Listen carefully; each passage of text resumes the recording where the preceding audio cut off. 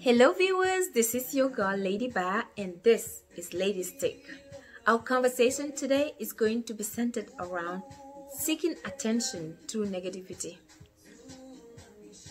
Sometimes we see people on social media, they will make a full one hour video about somebody. It's all going to be negative stuff. You this, you that, you this people that you were best friends with yesterday, people that you were family with yesterday. But today, because you guys are at loggerheads, you take it to social media. You talk about their generation to now. All the bad words in the books, you bring it out. All anything you can imagine that is going to damage that individual, you talk about it in public you bring out the dirty laundry in public. But yesterday you were that person's friend. Yesterday you were that person's brother or sister. Yesterday you were family with that person. And even if you were not family, probably you guys just met on Facebook. But you make up stuff to bring those people down just because either you have difference in ideologies, you have different in party affiliations, you have different in your thought I mean, think about it. We all cannot agree on one thing. We all have our ways. I might not like the same political party that you like.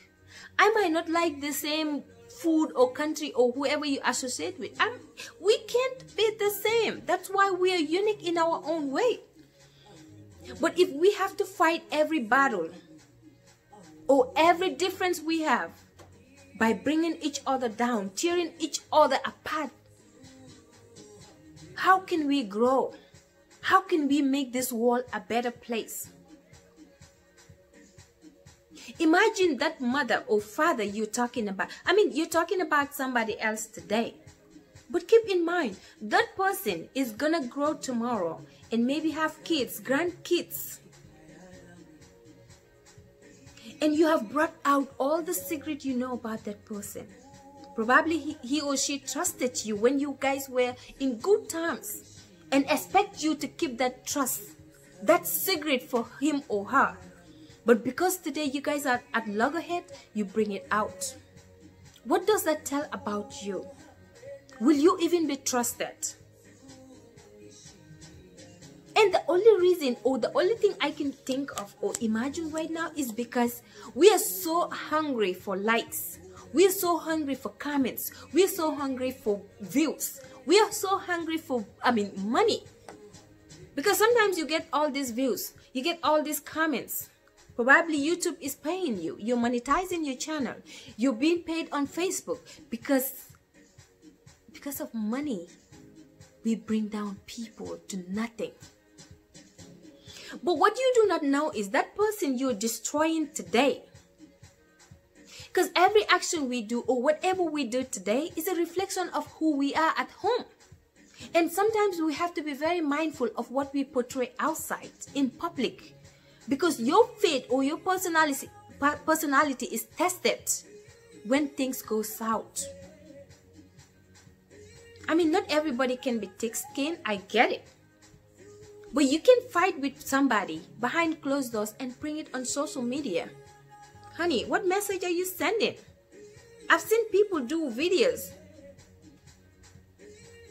bringing out all the kind of, I mean, all the insults in the book. But do you think, do you think that's the right action? Have you sit back and look at yourself in the mirror and ask yourself this question? Am I doing the right thing? What am I doing? What I'm doing right now, is it going to solve this issue? Is it going to make a difference? You need to date yourself. Have a relationship with yourself. Have a conversation with yourself. And when I say have a conversation with yourself, I'm talking about your future self. If you're 30 today, sit back and think if you are at 60, will you be proud of yourself for what you did when you were 30? And if the answer is no, then you need to retract. You need to take a step back. and look at yourself again. Assess yourself. It's very important. Because perhaps today you're doing something, you're acting on emotions. But if you sit back and look at yourself in the mirror and have a conversation with yourself, probably you don't trust somebody else to talk to, but have a conversation with yourself on the mirror, in the mirror rather. And see if that answer is positive, then keep doing what you're doing. But if you will not be proud of your future self, honey, drop it. Drop it, drip it, do whatever. Just drop it. Because it doesn't tell well. It doesn't look right. And put yourself in that person's position, whoever that is, you're talking about or bringing down. If you put yourself in their shoes for just one second, would you be happy for somebody to talk about you in the way you were talking about her, him or her? Sometimes we make up stuff about somebody who we don't even know, or because we just want to bring you down, we want to damage you. But you who is doing that, did you sit and think, probably someday you might run for office? You never know. Never say never in life because you only know about today, but what's going to come tomorrow, you don't know, honey. Tomorrow you might want to run for office or you might be elected for something and people are going to look up to you. You want to speak and people listen. You want people to look at you and be proud of you. You want people to look at you as a role model. But if all you do is sit on social media and talk crap about other people or talk nasty things about other people, how do you expect people to be proud of you or look at you as a role model? Let me give you an example.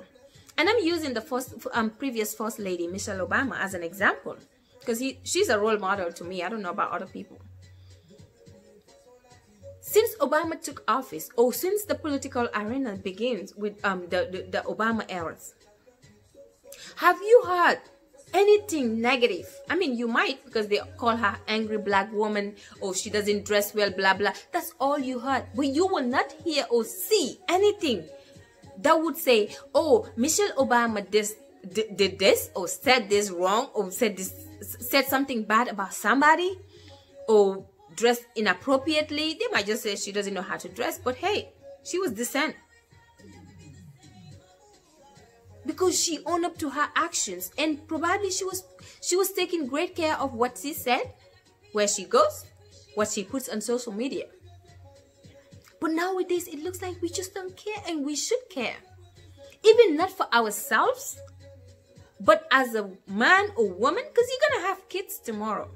Imagine your son wants to run for office or your daughter wants to run for office people like me, journalists, we will go back to your history and dig what you were doing, what your family or parents were doing, the background where you come from, what kind of people you are. So imagine if they go back to the archives, to the library, and see some of the things that you were doing on social media. And keep in mind, nowadays people are not stupid. You go for job interviews or you apply for something this most of these companies they go back to see what you put on social media. They look you up whether you know it or not. And trust me whatever you put out there in the public is definitely a reflection of you. There's no excuse about that. You can say i was angry or it's a mistake. If you're angry honey take a bottle of water and drink it. Drink to your satisfaction. Eat food if you want Sleep if you like. Wake up and reflect on the matter. Think about it before you take any action. Because if you act on emotions or anger, honey, you sit back and be like, oh my God, did I just say that? Did I just do that? You want to be remembered in a very positive way, but not in a negative way. You want to be a role model. You want to leave a legacy behind. And keep in mind, all these likes, all these fames, all these comments, all these views we are fighting for or looking for, honey, those views stays here today. And the people that are watching you today might not be in your future. And possibly possibly it would be the same people that are watching you today and liking what you're doing and saying that are gonna turn around or come around and talk negative about you and judge you and call you names. And probably they won't even have respect for you. Pretend today that you want to run for office. They will be the same people that are that were commenting for you um liking your your post or whatever you're saying negative about somebody else those are the same people that are gonna come back and say oh he's not oh she's not fit. And guess what? Where do you stand? You will be alone in your own wall do good and good will follow you. And there's this proverb in my language that always says a word is like a bullet the moment you fire that bullet, you can't have it back. It's gone. Be mindful of what comes out of this mouth. If it can't be positive, honey, don't bring it out. Keep it there. Die with it if you have to. I remember my teacher one time told me, Lady, if you don't have anything positive to say, don't say anything. And I believe that.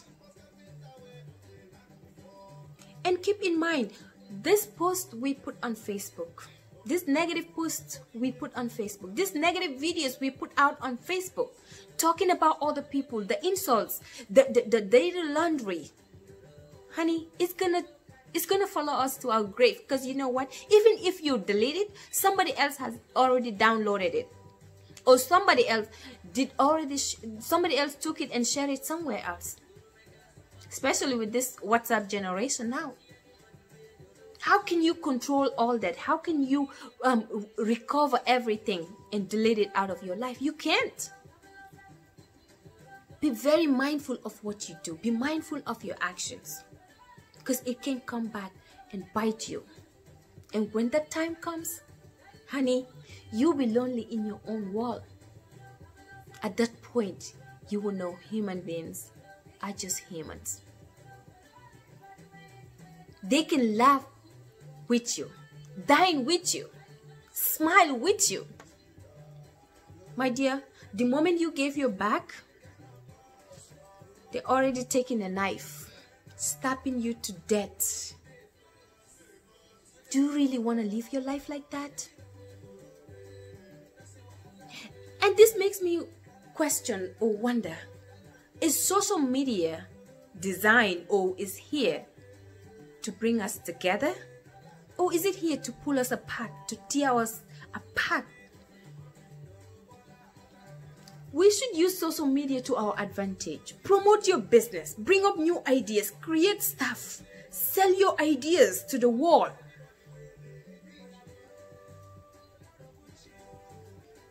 Present yourself in a way and manner that even if somebody is out there in the village, will see him or herself in you. Present yourself in a way, sell your ideas in a way. Bill Gates, who is in Washington State in America, would want to reach out to you. Never say never, you never know, and never set your standard so low. Aim high and go high. That's the only way you can excel in life. And that's the only way you can make it in life. But if your life is all about sitting, enjoying your um, the luxury at home, the light, the, the connection, which is the internet, the Wi-Fi, you have your phone or your tablet or your mic, you're ready to go. And all you use that equipment for is to tear somebody down, to bring somebody else down. My dear, that's a waste of resources. Give me that money and you see what I'll do with it. I'll build an empire with that. Use your luxury, your Wi Fi, your credit, whatever that is that you use to make that video to bring somebody else. Use it, use it to your advantage. Use it to promote yourself. Use it to, to, to develop yourself or promote your business or create something positive that people will learn from. Life is too short. Let's make the best out of it. Well, this is Lady's Take. Until I come your way again, you take care. Be safe. The coronavirus is still out there. And I will leave you with this. If you would not be proud of your future self, or you will not be proud of your current self when you are at 60 or at 100 years, you never know, don't do it. Stay positive and life goes on. And one last thing we grow by lifting other people. Because otherwise, we will be lonely in this world. We will be standing by ourselves. And we need company. To have company, you need people. Be nice to your fellow human being. Take care and bye for now.